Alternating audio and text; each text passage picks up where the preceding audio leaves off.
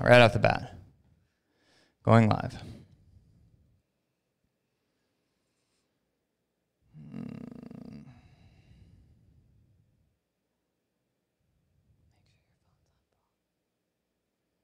My, my phone's on Do Not Disturb Okay, and the volume's down. and the volume's down. I'm not watching the thing. Well, this is how I get my questions because I can't read that. Yeah, I hear you. So let's see. There, there. Bebop out of that. We're there. You did there. All right, everybody. Welcome to the show this week. It is a very special one as it is Christmas time. Merry Christmas. So almost as cool as the Ellen DeGeneres show, we're going to be giving one person something this evening, and you're going to have to work for it. So we want to jump right in and kind of explain that because a lot of people were asking, "How do I win stuff? How is this going to work?" Come on, give me the deets.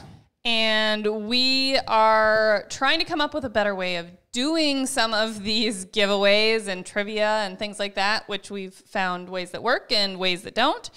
And we are going to be using an email address. Yeah, this is a little note out of old Gary V's book. I was watching, um, watching, listening to a podcast live that he did, and he said, uh, producer, which we don't happen to have one yet. I'm working on it. We're working really hard. We said, hey, create, create me an email address real quick over there, and we'll allow people to. So I did da-da-da." that really quick ahead of time. We did that. Yeah, we, we did that really quick ahead of time. And what is that email address? Yawa 47 giveaway. Which it's Yawa episode 47. And then this is the giveaway.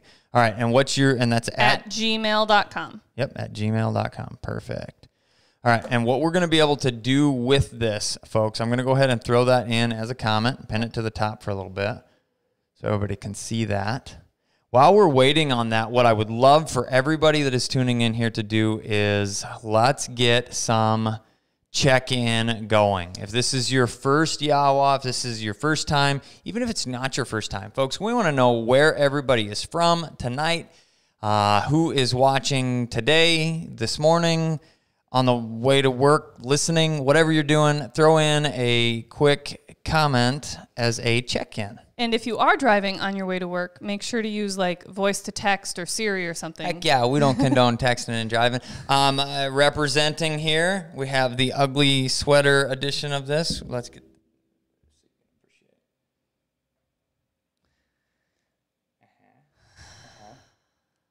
I don't necessarily approve, but it Heck was yeah. literally the only Christmas sweater he has. It's so. a it's a reindeer what are you doing? there? menage. menage I scoot my chair up a little. Menage a trois. Yeah. And I'm just festive. So Festive. Everybody loves festive. What do we got people tuning in from? we have people from, let me see, got to get to the tune ins. We had people checking in early again, asking questions and stuff already. So let me get to some of the check-ins. We're gonna play a little bit of this tonight. Dun, dun, People dun, are excited about your bourbons. They're getting their bourbon out, ready for. Ooh, Uh, baby. Hi from Minnesota, from Melanie Carlson. All snowed in with a blizzard raging outside. Had my Bulleit bourbon with some Aperol tonight. When I'm all grown up, I'll be a purist like Ethan and drink it up. um, same. I'm in Minnesota. Five inches of snow and lake's not quite ready for fishing. From Nell Leah. The snow. I'm not gonna lie. The snow sounds a little horrible. We've been there, done that. Mm-hmm. So, uh, Sarah Lucas, hi from Central Pennsylvania. James Schick says, Windy, Wyoming, checking in. Merry Christmas to all. Heck yeah. Hey James, how's it going? Lots of Minnesotans. Hutchinson, Minnesota. You say that they say Minnesota. Another. I just tease because we used to actually live there. yeah, So so we can tease. Uh, Zach Hikes, Central Pennsylvania, here as well. We got a lot of Northeast people. I dig it. Thanks for tuning in. Columbus, Ohio, from Finish Line Engravers, No Limits Running Company, a balmy 55. Heck yeah. That's about what we had today uh, until I woke up with some weather that was nicer like that. I think uh, we started in the. It was decent out 40s? this morning, and it just dropped right off. there, Oh my sir. goodness, yeah. We had uh, one of those beautiful windy Kansas days. I think we were gusts up to 50. And we were supposed to attempt to shoot another clutch video today. And I went, "Nah, I'm not windy. fighting this wind. I mean, it's going to blow the dang camera over. So Yeah. we just uh, postponed that till tomorrow. It's supposed to be pretty much gorgeous, I believe. We've got Denise Steele from Central Florida, Hey. Hitchcock, South Dakota, Tyler Bolin, um, uh, Spokane, Washington, Jeremy Oh, yeah. Payne, Yeah, yeah, yeah. California, El, Al Palafox, Pennsylvania again from Dark Whiskey. And Merry for those Christmas from that Wisconsin. just tune in for the bourbon tonight, special occasion, we'll be sipping on some Blantons. This is uh, the old horse racer, um, one of my original favorites, and one that I still enjoy on the regular, even though we have branched out from before I used to be like, oh, this is the only thing I want to drink. Now there's lots of options, but this one's still still up there at the top of the list. Yes, big fan. I know it is. Big fan. I'm actually enjoying a nice cup of tea this evening. Cup of tea. Uh, gotta love constant comment. But I am drinking it in a festive Christmas mug with a cute little fox on it. I absolutely love coffee mugs. I love original, unique coffee mugs, and my cupboards are literally overflowing. And I have to It's pretty cycle insane. them through Yeah, and it's pretty exchange some of the older ones for some new ones. And then it's like bring out some of the old ones and they're new again. But yeah. I like it. We have a, a couple things I just want to touch on again because I saw that we have a few more people. Oh, we have a few more people bopped in here, and I want to make sure that everybody is aware that is listening and everything else. Um, that pin at the top, that's an email address. It is yawa47 giveaway at gmail.com. Oh, and I actually had a typo in it. oh, goodness. Let me fix your typo. um, can I? Rem- I'll remove it. and then retype And it retype and then pin it. Okay. So Yawa47 giveaway at gmail.com is how you're going to enter into this evening's contest. And that was what we posted in that picture. It's the thumbnail. And what you guys are looking at is a hat, standing stone hat of your choice. You can use the black tuxedo, uh, America Classic. That's the one we showed the picture, uh, or any of the other options. A uh, bag of Nutri Chomps, which are fantastic chews for your dogs. A DT Systems Rapt 1400 collar. I can't reach any of the more of the rest of the stuff. Uh, cats. I'm hoarding it. Yeah, that's all right, baby. Uh, Rapt 1400 e collar. Thank you, DT Systems, for being awesome and making great products. And then uh, some of our own personal products here. We've got the Easy Lead and Flat Collar combo Again, you can change out the choice. color. Yep. And then last but not least, so you can be representing uh, Standing Stones. This is the Big Frig branded tumblers. They're absolutely awesome. Um, they feel good in your hand. They got a cool finish on them. It's just a little different. It's got some just baby texture that's uh, nice to hold on to. So really Non-slip nice grip. non-slip grip and a slider top. Rock and roll. So this is it. All of the colorable colorables are variables. Uh, you can pick any dang color you want. All right, folks. Whoever the winner is, what this is going to be this evening is trivia, and all you have to do is send an email to yawa47 giveaway at gmail.com with the answers. We're going to do a majority of it at the end. We may We're, throw we're in. taking notes as we come up with We've what we want our trivia to be. Yep, we have a couple pre Yawa uh, questions labeled out here, and then we're going to have some uh, during Yawa questions. So it means you got to tune in, you got to pay attention, you got to watch the whole time. And then as we bop around here, um, we're going to jump right into some question answering and tell some stories and have some fun, sipping on some drinks and hanging out with y'all. Um, I do want to say if this is your first time to the channel, this is the first video or podcast that you're finding, definitely give us a subscription, please. We appreciate it. Um, hitting that subscribe button or subscribing to the podcast would be fantastic. And then um, if you are here and feel uh, like you want to. Saying thanks to a patron is an awesome thing to do. Or if you want to say thanks for the content, become a patron yourself. We are we have a goal of hitting 500 um, By the end of the year. by the end of the year, and that I don't believe is going to happen. Uh, we might get close. We're at 377 right now. We teeter kind of up and down, and as we go, um, any jump in that would be fantastic. But uh, Four minutes ago, 380. Whoop, whoop. woo, woo. so 120 to get to our goal by the end of the year might have been set a little bit high. Nonetheless, um, we do appreciate all the money that comes through that account from patrons. Is it goes directly back into producing this content, whether that's equipment or uh, video editing or any Which of the I- stuff. I These to- giveaway things, all of this happens directly through that Patreon. I account. just have to give a little spoiler and toot my own horn all at the same time. are you Uh, talking about? We have a new video coming out oh heck yeah! with Covey, which if you've been following along with Mm-hmm. um, what we've been doing with her.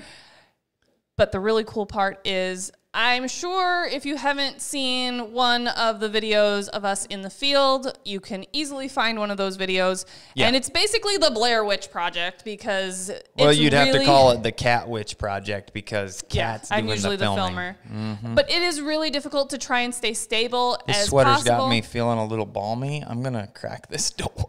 Okay. Um, and the lights that we've got really warm it up in here usually quite a bit. But um, so it's hard to walk through the field through thick cover, uneven ground, and watching the tiny little screen to make sure everything's still in focus and happening on screen. And it gets a little jumbly and jarring to watch. And we've had multiple, multiple, multiple, multiple comments that, hey, you should get a gimbal. So we did. And we used it in the last part of that video that's going to be coming out here, I believe, the end of the week. Yeah, so you're gonna see a progression and the video stability, if you will, as it goes along. And I feel like I did pretty good for the first time using it. It's a fairly heavy piece of equipment too, so uh, long field sessions get a little tiresome to hold on to it. But we rigged up a cool little harness system, and it worked pretty decent. and Kat doesn't even know this. This is a surprise and news to her. I had the opportunity because we had an extra little and um, I got a it's called it's a Steadicam branded harness. So you wear it as a suit, and it straps here and straps here, and then has a support arm that comes out, and then the gimbal sits in it. So it helps with that X axis, which is the only thing you're going to see is everything's really smooth and really nice in that video, but it's got a little bit of just movement with your body. While I'm walking, yeah. Mhm. And this is supposed to help eliminate that a little bit. And so you're getting even more steady as you go. And it gives you that extra support arm so that you can watch what's going on. That's cool. Didn't Yeah. Again, um, all we need to do is say thanks for everybody for the support. And we appreciate y'all. Let's get into answering a few questions this evening. Okay.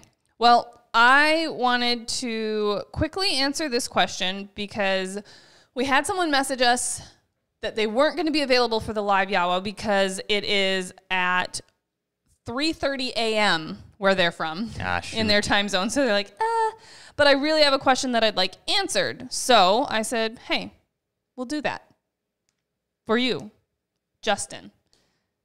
J Hill underscore four from Instagram, which most of our questions are coming from the YouTube live right now, but I made an exception for this guy since he didn't want to be up at 3:30 in the morning. You ask really nicely. Yeah. So I see recommendations for DT systems launchers on your website. I know these tools are primarily used for pointing dogs during their training, but can these be utilized for flushers retrievers in the upland scene? And if so, how? So that's the thing here. So I would say from a flusher, I would love to set you up, buddy, Justin, with some bird launchers. But if you are working on a flushing dog, there's going to be better tools out there for you. Um, one of which is just quality birds. Uh, putting that bird in the grass, bringing your dog into it is about the bird's going to take care of the rest. You know, you want the dog to be able to get in there and have that opportunity. And if the dog catches the bird in your situation, that's only going to build more drive and desire to try and catch the next one.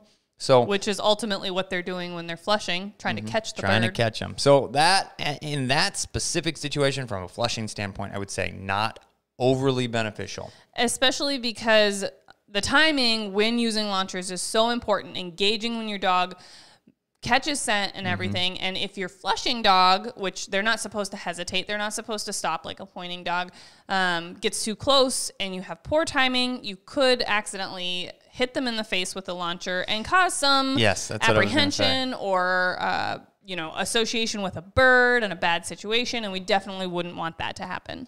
I would say that there is a greater chance of causing issues with the flushing than actually helping things get better or preventing, you know, whatever there's there's more takeaway than there's ad with uh, bird launchers in a flushing environment. Now, from a retrieving standpoint, that's a whole different story. Those bird launchers are designed to throw. I mean, they got a pretty dang good catapult to them. And if you were to set up either multiple of them or additional of them with streamers or attention getters when you're working on extending marks or lines and you don't have someone to help you, utilizing that remote uh, feature, there's a couple different remote products that DT has that can all work together on one remote for you. Um, that would be the DT Systems remote dummy launcher. And the next would be those um, remote bird launchers. And you can actually, in the basket, you can put, it puts the bumper in the basket. You can, uh, you can put different objects in there to be able to add a timely spot, throw them up in the air, and pull attention to continue that driving aspect uh, when you're trying to extend that or build confidence with a young dog. So, in that situation, it's fantastic. You set your remote dummy launcher up. You know, hey, hey, hey, Mark, here comes the bird. It comes down. And you set it up. You have to do a little prep work, but it comes out right in. Sorry, baby I'm talking with my hands I'm here. trying to itch my eye. About lost an eye. It comes out right about where your bird launchers are going to be set up or close to where it's close enough. And then if your dog needs a little bit of help, a little confidence booster with that drive, you can launch a bird launcher and then here comes another bumper. They throw them six, eight, ten feet in the air, depending on exactly what you're using. And then you could throw another one and then another one if you need to help that dog to excel. So that's a that would be a good option there from a flushing standpoint. Not so much the retrieving standpoint. There is definitely some good usage. Agreed. Good question. So this is a good question from Isherman. Tips for day crate training while working from home. Nighttime is fine. And I think that this is a really good question and one question. that has uh-huh. become a lot more prevalent in COVID, the few maybe. the few last months mm-hmm. because there are a lot of people that are working from home that haven't had that opportunity in the past and it's definitely driving a lot of questions that we're getting from our patrons and other people like you on yes. a regular basis. I would say one of the most common questions that we've gotten recently is related to crate training. Crate training and what do we do about the barking while our puppy is at home with us while we're at home all day working? Yes. So there's a lot of things that you can try. We Lots. have a video out there. Um, we have a couple videos out there, but the one I'm thinking of specifically is like tips and tricks for crate training. And all of those things can be utilized not only during nighttime crate training, but daytime crate training as well. So uh, things like trying to cover the crate with a towel or a blanket to create a nice enclosed space, giving extra special chew toys or chew bones while they're just in their crate, um, having the crate near you or having the crate away from you. Things like that um, just vary depending on the puppy. Some puppies do well right next to you. Some people say that their puppies do better in a back room where they can't hear and see what's going on and feel like that FOMO is happening. Um, but then ultimately, I think that it's really important to mention that puppies need a lot of stimulation as well. They need training time, they need time to mentally exercise their brains. They need time to physically exercise their bodies. So, yes, you're at work, but we need to make sure that we're giving that puppy plenty of time first thing in the morning prior to crate training happening, and then middle of the day, getting puppy out, going potty, doing a little bit of out free time, and then again in the evening, making sure that we're really working on things to help mentally exhaust our puppy and physically exhaust them as well so that they are ready to spend that time in the crate. You know, if you've got a stir crazy puppy that hasn't done anything all day or for the last few days because they only get out on the weekends to really burn off any puppy energy, you're probably going to run into a puppy that's vocalizing a little bit because they're just wound up and they haven't had a way to get rid of some of that puppy energy. That's exactly it. I, I think it's overlooked that the puppies need that level of exercise.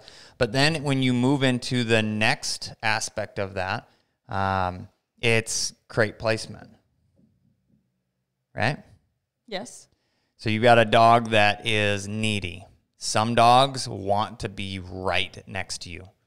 Other dogs want to be, you know, kind of need that calm or that separation or that time alone. So you create them in the back closet where it's dark and I mentioned that already. Oh God. Okay. I said some puppies do well next to you, some puppies do well away from you because they have FOMO. You nailed it. I was looking for the next question. I apologize. okay. I was like, this sounds really familiar. Like I literally Hey, it's literally almost just like said an this. echo. God dang. You nailed it. Thanks. Thanks, babe. um, did you have a question ready then that you were looking at? No.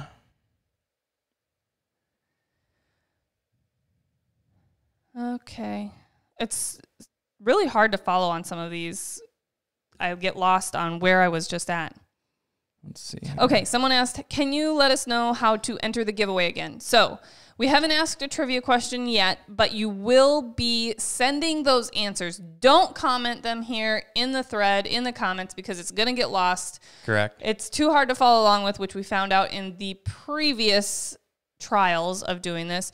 But you are going to email your answers to yawa47giveaway at gmail.com. I pinned that email address to the top of the conversation, to the top of the video, something like that. So you should be seeing that pop up. I did have a typo in the beginning, but I switched that. So hopefully everybody's seen the new one. Obviously, I had a, I don't know, I had, I think I had a C in there instead of the V. So if I, it should be giveaway, not gick, gickaway or geis, geis away, geis away. I don't know. Somebody else piped in said it's 1:38 in the morning here, baby. Oh, wow. Thanks for being dedicated. Absolutely.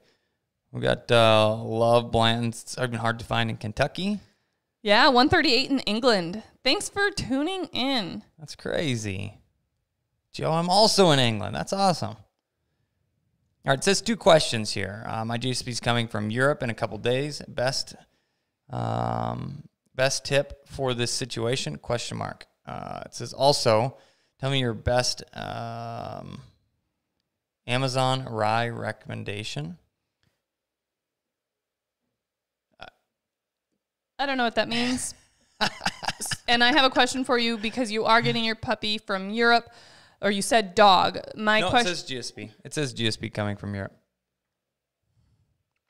Yes, darling, but was it puppy or dog? Are you getting an eight week old puppy, or are you getting a 12 week old puppy, or are you mm. getting a year old dog? Yes, Rodrigo, Please throw us back some info about what is coming from Europe. Also, And what is Amazon rye? I'm not sure. So Is that a type of food? Mm, okay? Next, Kyle wanted to know do we send all the answers in one email or separate them out? One email, please. I will not be able to keep track of all nope. your. You send yeah, you send one email. That's your entry. Number the questions one through however many we come up with. Probably three to five. All right. It says um here. I saw one. Ah, this one says being a Patreon member is very helpful. Uh, getting feedback on training on the regular. Speaking of that, we do um, look at those Patreon messages and review videos and do. I did a uh, a live um, a live chat today, working with somebody who's having some issues with a little bit of uh, anxiety slash apprehension of a new rescue dog, and we started working through kind of the process to help work through that. Um, it's going to take a little bit, you know, but being able to see that firsthand allows us to really be able to help you better. Ooh, what does that mean? This just happened. What does that say? Hey, we got our first super chat. That's what that means. Woo woo, that is awesome. Awesome, Richard. Rock and roll. It says, uh, How late is too late to start formal training with a cocker? Uh-huh. So that's a good question. And you can always teach an old dog new tricks. That's a it's a it's a prime example of the the new series that we're doing right now. That's not with, Cubby. a cocker, but it is with a English setter, and she's what coming on three? Yep. She's two and a half. So she has had a slow formal start to say, um, Ron hasn't done a ton of formal work with her, has taken her hunting, and Cubby's had developed some bad habits. And so now we have a little bit older dog in that we are working through some of those bad habits with and fixing the problems that he has with her. So we're creating a series about that process. But I would say, um, you know, you can always teach an old dog new tricks. That's something that we always say, but it just sometimes takes longer to get there. Um, a dog that has a lot of maybe bad habits needs to learn the right way to do things and overcoming those bad habits especially if they've been really ingrained and really conditioned can take a lot of time to overcome uh, the other thing is we've worked with dogs that are like nine years old before We did. We got a nine year old in for training. Um, super super sweet dog, absolutely fantastic. and, what she'd she had needed, some hunting experience, but a she lot of needed, hunting but she needed a lot of polishing in the formal Mm-hmm. aspect of things with whoa, whoa training and brace work and things like that. what ended up happening with that is they they had sent their puppies to us for training and those puppies they actually said um, they they are better behaved now and do a better job than mama and we would really like mama to be able to do something do you think you can work with her? So all we did with the, the little bit older dog in that situation was put a little more um, handle with some obedience collar conditioning and a little more polish on the field work you know not super extensive stuff because she had so much experience but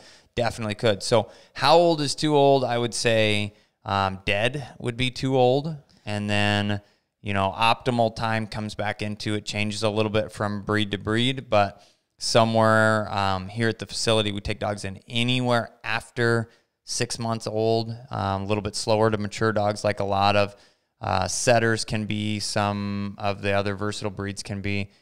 We're looking at closer to that 10 to 12 month range, but as far as how old is too old, really, uh, no age is too old. The the thing that you run into though is the older the dog is, the more things we have to kind of uncondition. You know, maybe bad habits that were developed from not having proper training in the beginning. Yep. It's a great question.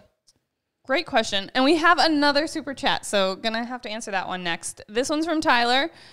Looking at running my four-year-old GSP in the NAVHDA utility test this spring. What's the hardest thing to prepare for? And this is a great question because it really depends. That super chat thing makes it really easy to find them. Yeah, they're right at the top in bright, bright colors. So every, first of all, the NAVHDA utility test is a more advanced level of testing through the NAVHDA testing system. Uh, there's a field portion, there's a duck search portion, there's a heeling course, there's a duck drag, um, and there's a steady by blind portion. So there's a lot of different parts of the test. And people ask, what's the hardest part? Or that's what Tyler asked, what's the hardest part to prepare for? And every dog is different. And that's why there's no cut and dry answer. Some dogs are really naturally steady bird dogs. So the field portion is probably going to come a little more naturally and more easy for them. Um, some dogs are super prey driven, have great water love. So the duck search is going to be very natural and easy for them because they're just independent and they want to go out and they want to search and they want to find that duck. Um, some dogs are a little pushier, so they may actually struggle with the heeling course and the steady by the blind portion where they need to stay steady out of sight of the handler. Um, and then some dogs just know when mom and dad aren't watching that they can be naughty. So they go for the duck drag and they go, huh, nobody's around. I got this duck here. Maybe I'll just eat it today. So it can there can be pitfalls in any portion of the test. Uh, an example, which it's not the utility test, but it's the invitational. So it's the next level of testing in NAVHDA system after you get through utility. If you get a prize one, you can get invited to the invitational, which is held once a year. And if your dog passes, they become a versatile champion. So Nix has had the opportunity to go to the invitational twice.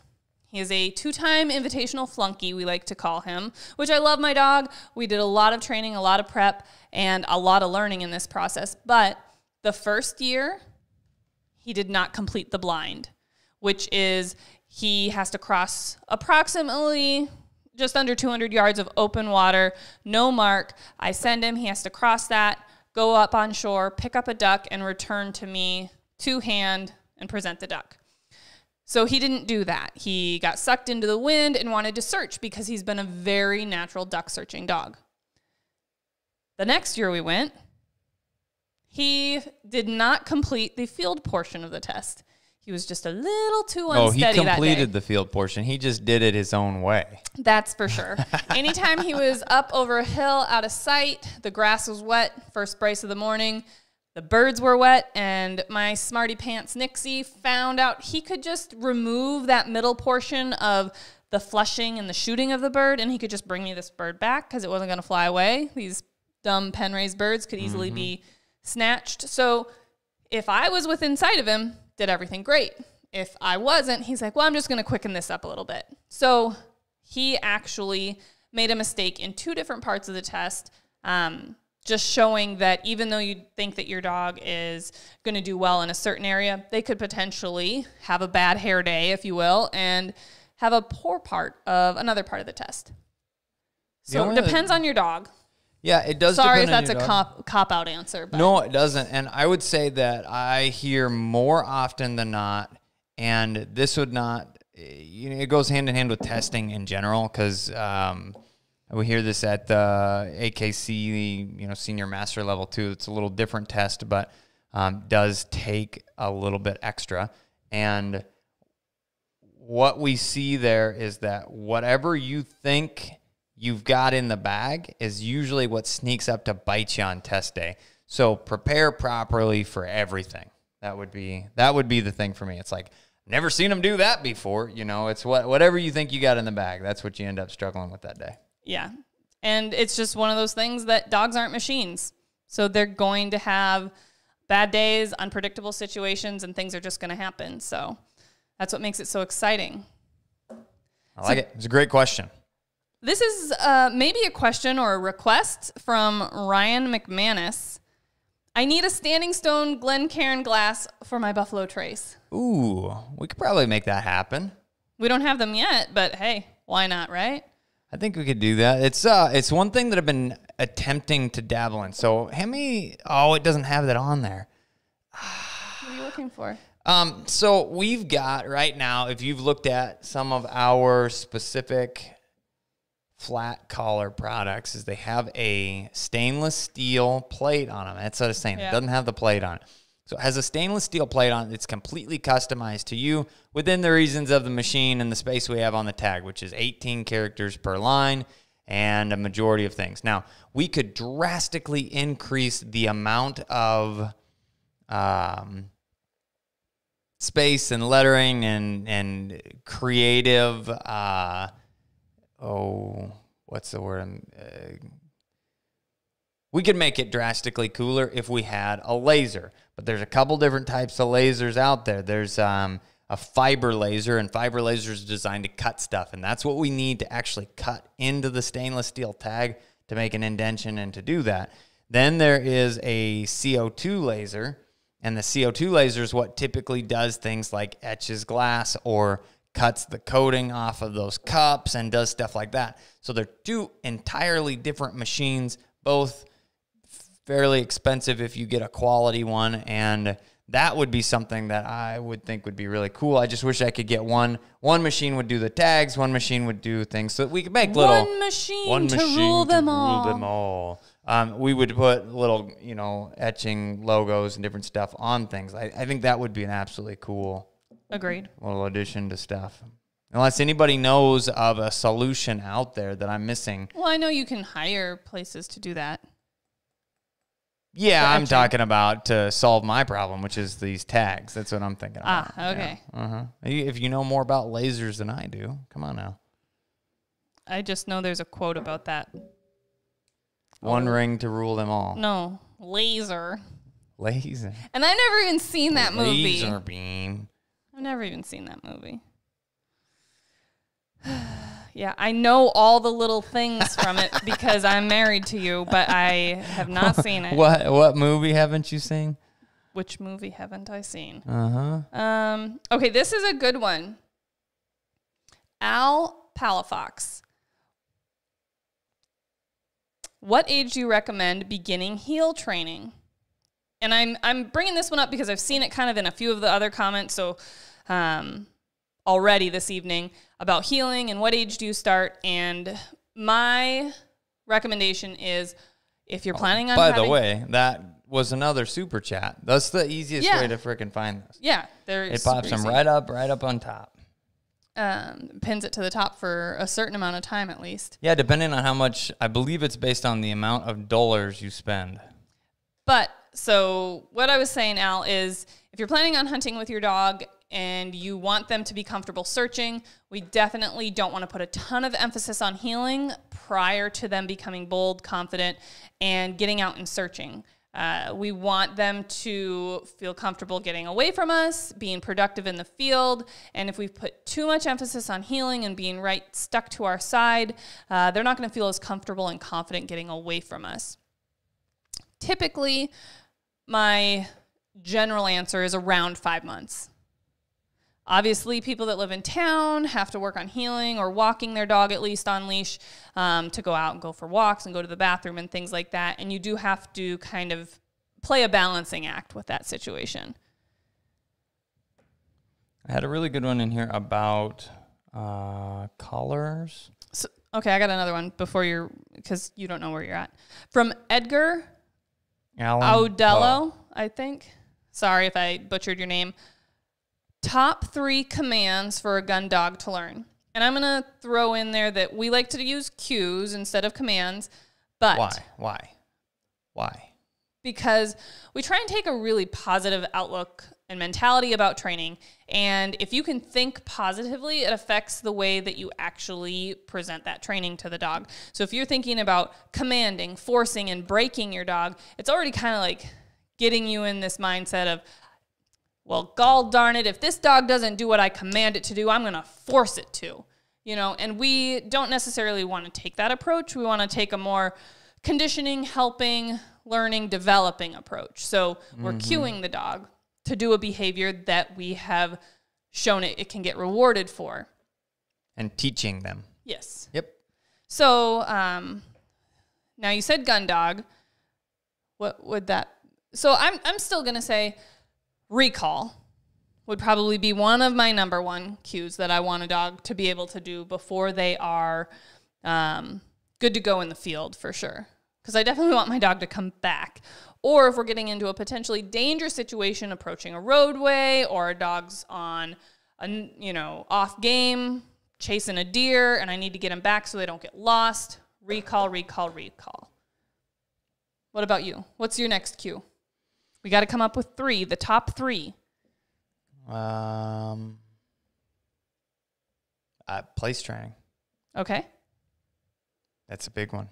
I like it. No explanation needed, apparently. None. None. I mean, it it it it speaks for itself. Okay. And what would you say?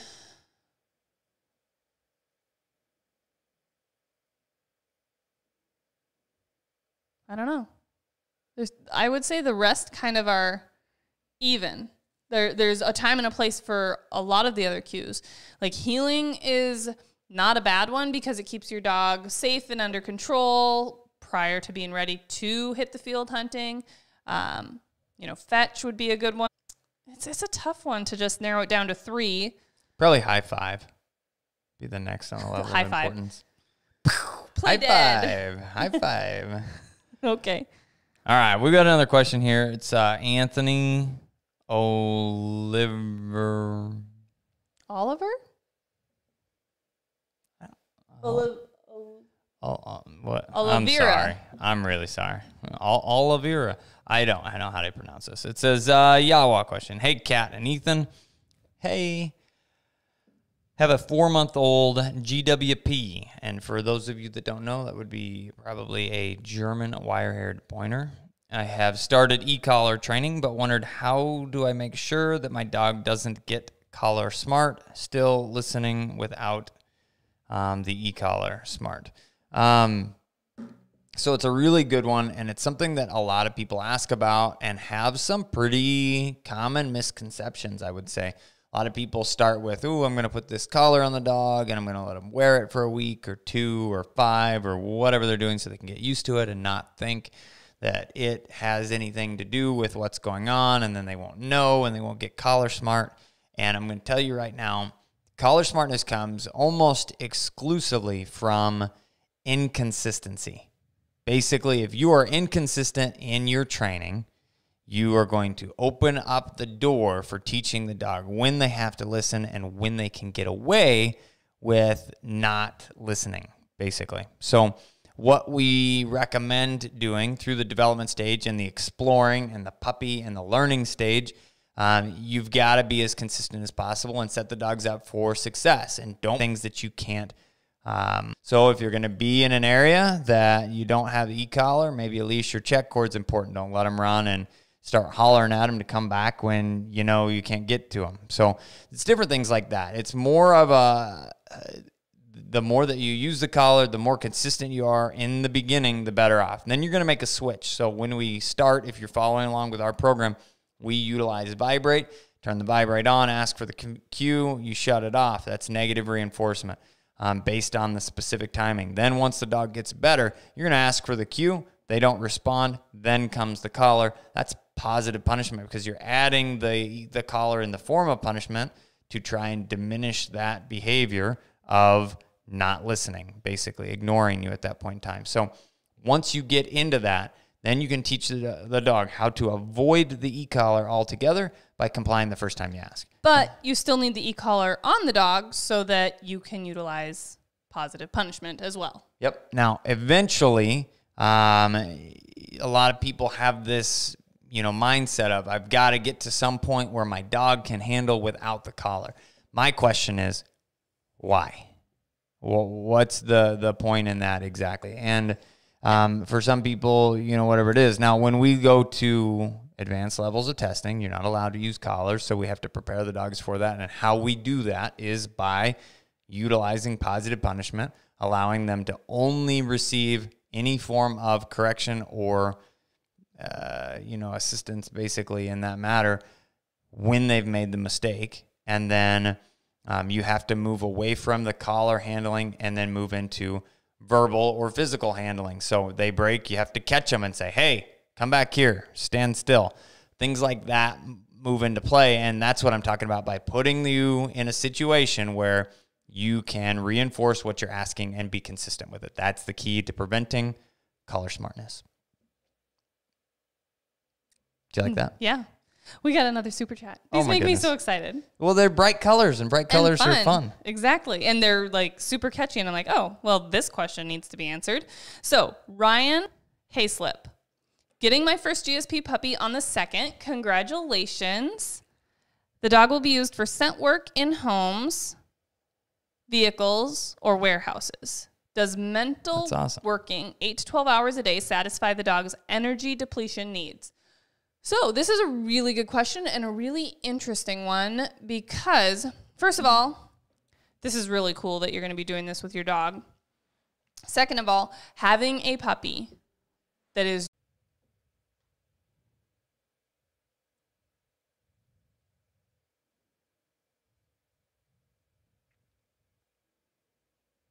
All right, excellent connection now it says. And we should be back here in just a second. Let's all have a drink with the, the bearded honey badger.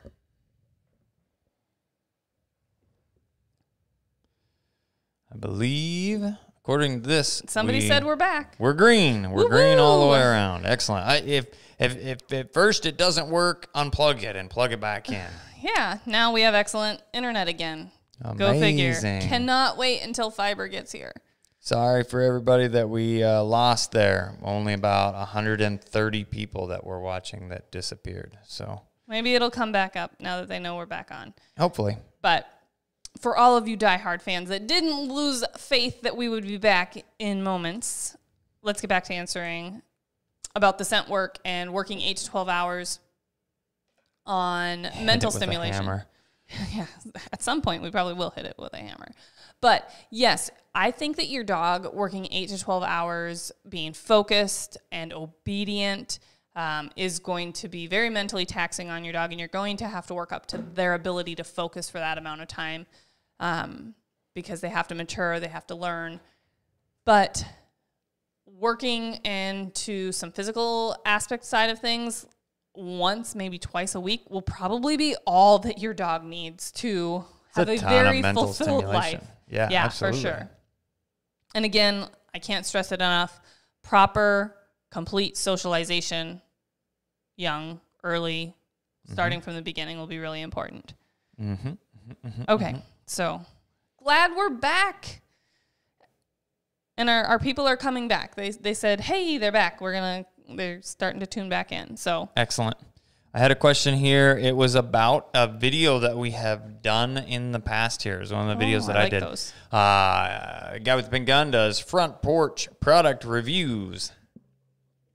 Um, we did a video on the Orvis Tough Shell system. It is a jacket and pants set. You said, I am 5'8, trying to figure out if the medium would work for me.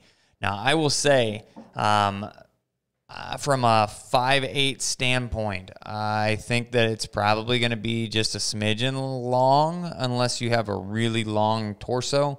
But uh, the short torso, long legs. yeah, I mean, I'm saying either way, I guess it's Okay. it's going to be a little bit long.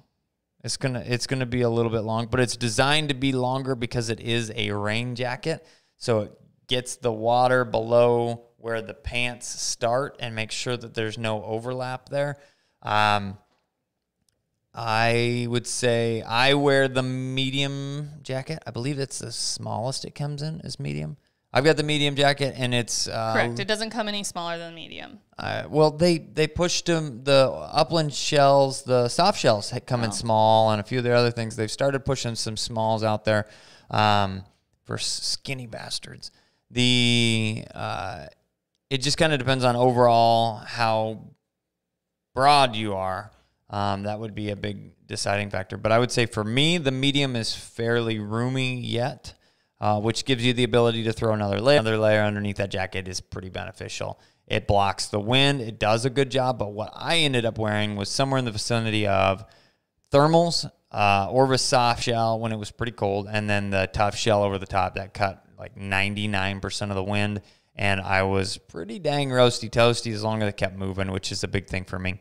I got to keep moving, and then that keeps me warm. So it was a good question. And for those of you who haven't seen it, just search uh, uh, Standing Stone Kennels on YouTube, Tough Shell, and uh, it'll come up. It's a it's a really really good all weather jacket. I actually wore that jacket in Alaska while we were fishing and stayed dry underneath of it. So it's a pretty cool deal. And I had some rain gear that was from REI and it got soaked completely through eventually. Not Wah, like wah, right wah. away, but it definitely didn't stay dry all day long, which would have been really nice. So this is a good question from Michael McMahon, I think. My 10 month old lab shuts down when we put on a vest. He wears a Momarsh Versa vest. He's been wearing it Excellent for about choice. a week. Will do the work that's asked of him, but all his style and personality is gone. So, a couple of things. One, ensure that it's fit properly and isn't overly restricting. But Too tight can be a problem. Yep, too tight can be a problem, but also ultimately, he just has to get over it. We have to allow him to realize this vest isn't hurting him, isn't do- is going to be painful or anything like that, and he just needs to become dogs that are in for formal whoa training. And they feel very uncomfortable at first wearing that belly collar. And I'm I'm equating it to a similar situation where they kind of freeze up, they don't feel comfortable moving, their tails come down and their, you know, personality changes a little bit cuz they're unsure of this new device, if you will.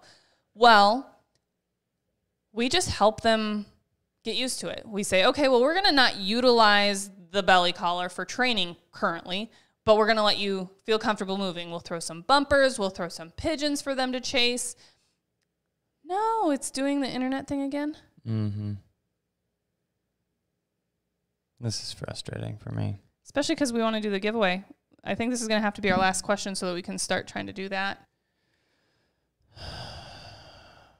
Let me see here.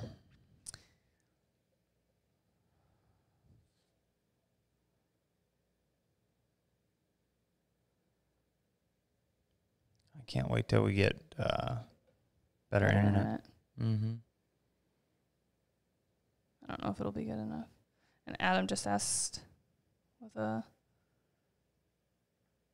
super chat. We got another question come through. with a super chat, yeah.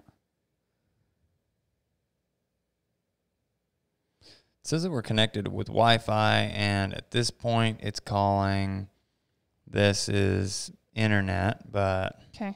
It's Hopefully- nothing to write home about. And it says not receiving enough video. Oh, no data. Oh, Are we frozen again? I'm guessing we're fizzle. God dang. Cutting out.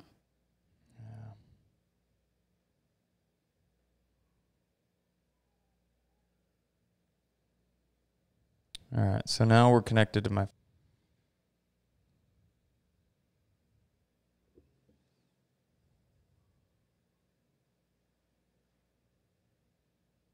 It says we have internet. There, it's coming back now. Dang.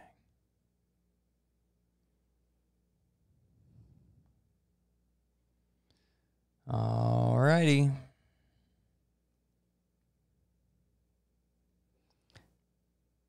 We hear you. Okay. Finally. Again. Excellent. So sorry. Gotta love living in the middle of nowhere. Yeah, hopefully we don't lose it again here before we uh, finish this up. I apologize for the internet, Yes. but uh, Appreciate you guys sticking it out with us. so So, what we got? finishing up the vest question is just help your dog get used to it. Don't give up. Have them wear it for a lot of different training sessions and try and do things that they, for training sessions, that they will um, not be able to focus on the fact that they feel weirded out in this vest. If they love to retrieve, if they love to chase birds, if they love to go for, you know, a run off the four wheeler, do that while they're wearing the vest. Going for a run with them wearing the vest, don't want them to overheat. I just want to throw that out there. Um, if you're going for like a six hour run in their new vest, they're going to get too hot. But doing a little bit of running would potentially help them have to keep up with you and forget about the fact that, hey, this vest feels weird.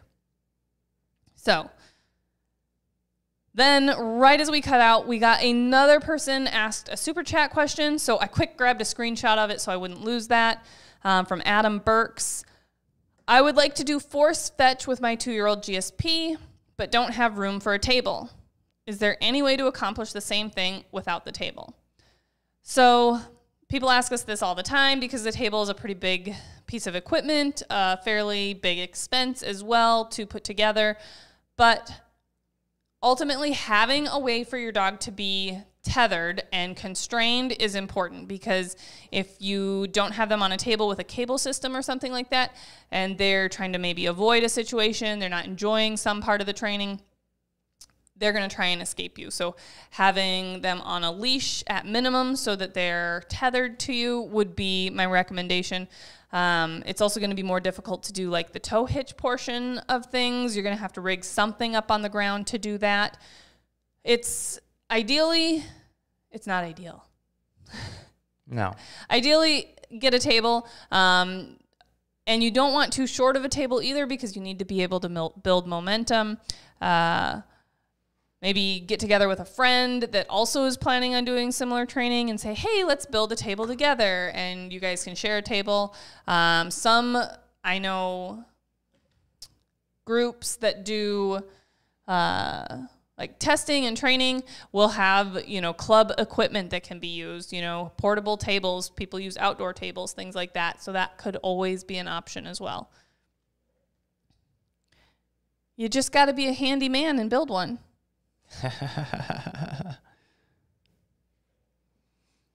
Did we lose connection again?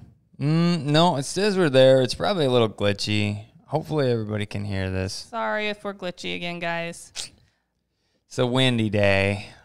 Yeah. The wind. But so people are asking, and we're, you know, even though we glitched out for a little bit, we, you know, probably didn't answer quite a full hour's worth of questions. But I don't want to lose internet again and not be able to give away this cool stuff. So we're going to start the giveaway process. And we're down to like 60 people watching. So you guys have all upped your odds by being, you know, loyal to stick it out. Absolutely. Okay. So remember, guys, Yawa47 giveaway at gmail.com is where you're going to be sending your answers. Pinned to the top of this chat, or still should be. Yep, it still says it is. So hopefully you guys can see that pinned email address. There are no typos in it. I double checked it again. Good, good to go. So we have three questions and a tiebreaker. First question. During Yawa, Ethan mentioned you put the bumper in the basket. What is that a reference to? Maybe you should do it in your, your voice. It puts the bumper in the basket. There you go. Good job. Good job. That was question one, people. Uh, somebody said we can't hear, but every few words. Hopefully that's better. It I'm gonna cut out laggy. the video here and see if it streams better for y'all. See if the audio is coming through loud and clear then. Some bad connection. I get Mhm. it, guys. I'm sorry. We literally live in the middle of nowhere, Kansas. We have beaming internet. It's the only internet option out there. Um, we will type the questions in the chat. About that? Is that any better? Can they hear us? Is Can you guys hear us without the video? Didn't hear a thing. Dang. All right, go ahead and type the questions. I'm working on it. Just number them. Shoot.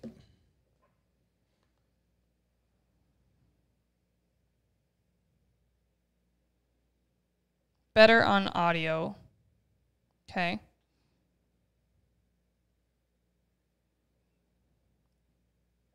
It says voice is good. Question time. Okay, good, loud and clear. We're gonna type them Nobody down, needs but to read them. see us anyway. Yeah, go. We'll go ahead and read them out here, and Kat's gonna type them. So, question number one was, uh, what uh, movie reference am I making a joke of? Then Read read it again because I think it was laggy and crappy at that point. it it, it puts the bumper in the basket. Um, anyhow, next one, number two. How many times did Nix run at the Invitational? We called him a blank time flunky. Lovingly refer to him as our blank time Invitational flunky. Then the question number three. These are all coming through. Kat's uh, typing them out here. Oh, you could have left them as one. Well, I tried, but then I hit okay. enter. So It's right. they're all coming in separate. And then it says uh, uh, for this evening, it's kind of a fun, never-ending game that we play of what, um, you know, essentially iconic movie has Kat not actually seen, nor does she want to see. Um, I had a few different references to that, and uh, if I had video, I could show one of them again. But it was a movie that Kat had not seen. And then the tiebreaker for this evening. Um, what is And remember, do not put your answers in the comments. Somebody comments. already doing that? Yep, people are doing that. So don't put the answers in the comments because we aren't going to be able to look at those. We're not going to be able to keep up with those. Um, but you need to email send us. it to Just the email. Pull up an email, Yawa47 giveaway at gmail.com. That's the email address. We can check that after we finish this up. And then uh, we will be giving we will be giving out prizes to the winners. And then uh, the tiebreaker, if this tiebreaker is needed, it is what is Thunder's full registered name? I will give you a hint. It starts Standing Stones, And then there's more. and then there's more. What is his registered name? All right, guys, those are the questions. We're going to bop into this email address here and see them coming through.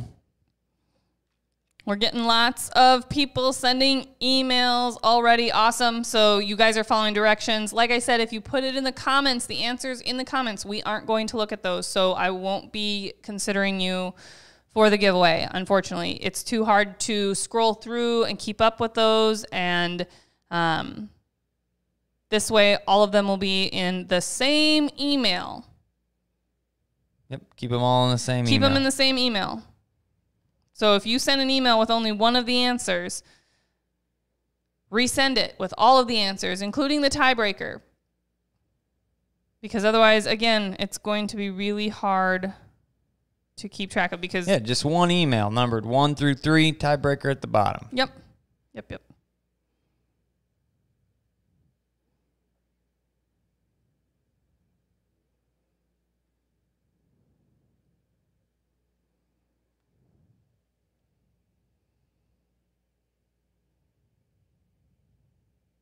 All right, let's see here. We still got uh, garbage interweb connection tonight. Sorry, guys. And I also want to mention if you guys sent an email earlier on asking questions to the email because you saw the email tag at the top, unfortunately, we are also not going to be replying and answering to those. Um, if you guys didn't get your questions answered this evening and you still do want them answered, uh, definitely hit us up at patreon.com slash standing stone kennels. It's where we're getting to people's questions on the daily. Um, Kat and I are both jumping all over those. You can do setup on a couple different tiers, one of which is uh, just questioning back and forth on the, the custom message platform there. The other would be actually sending us videos of your sessions. You can actually set up in the next tier up phone calls if you prefer, if you don't like the technology game quite so much and you just want to talk to somebody. And then the last would be the live tier. And the live tier is absolutely fantastic. Allows us to watch live what you're doing and help critique and guide you in your training sessions. And I actually did my first live with a patron the other day. We don't get a ton of those people, and Ethan has been doing a lot of them. But as we've been growing our Patreon community, Ethan and I have been having to tag team those a little bit more. And I did my first one, and it was so awesome to watch how that really actually worked in real time and how well it really actually worked. All right. So everything is in, and uh, what do we got? Just if it doesn't have all the answers, just delete it. If it doesn't have the right answers, just delete it, Okay. and then we'll sort down through.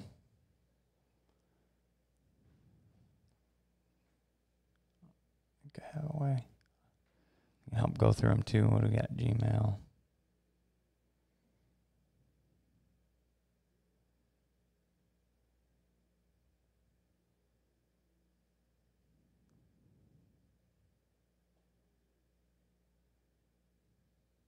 Thank you guys all for playing and for sticking it out with us, though, because it was definitely A little frustrating tonight for everybody, I'm sure. I get kicked in and out, not being able to hear what's going on.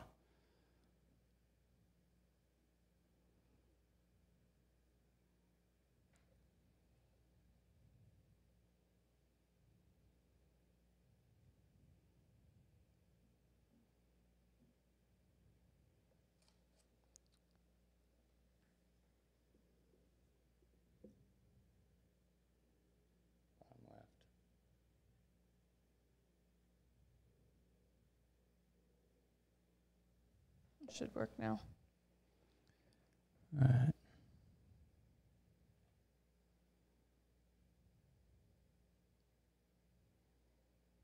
Got a few that are uh, getting stuff done, right?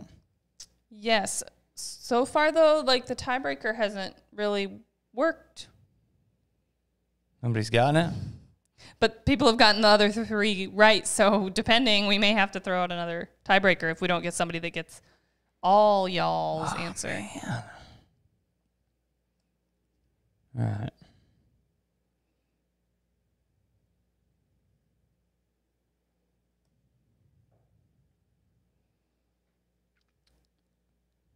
Ooh. We have one. Oh. Is this the one you saw? Uh-uh. We have more than one. So can we star those or something? I did. Right here, you just How hit the you- star button. Oh, there's a star button. Got Right it. there. hmm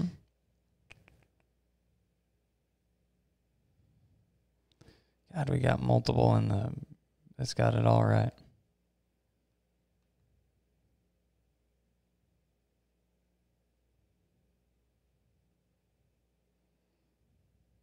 So do we need? Oh my God.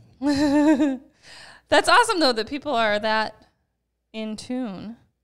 Holy hell. We literally got. uh One or two answers right. Oh, we have 70 more emails to go through. Just keep coming in. All right, guys. Time. I think what we are have to do a time cutoff. Well, no, no, no, no. That's Or- fine. I think what we're gonna have to do But- though is just bot back in with the uh the winner. We can throw it in the the. we'll have to do that. the so we'll have to take all the people that got it right, even with the tiebreaker, and Mm-hmm. then put it in a random thingy. Yeah, we'll have to pick somebody that way, and then what we'll end up doing for y'all is throwing it in the comment of the actual video. It'll go live here sh- just as soon as we finish this live stream. It'll be listed on our channel there, and we will tag the winner, winner, chicken dinner. Uh, who got it all right and who wins the the random deal? Does that work? Okay. Yeah, because this is impressive. Thank you all for playing. Thank you all for being with us. Thank Uh, you for your patience. I believe uh, what we have to say tonight is we're out of internet and uh, we're out of time. So we will get this sorted through. We'll get the winner out, and then we'll be touching base with you next week. Thanks, y'all.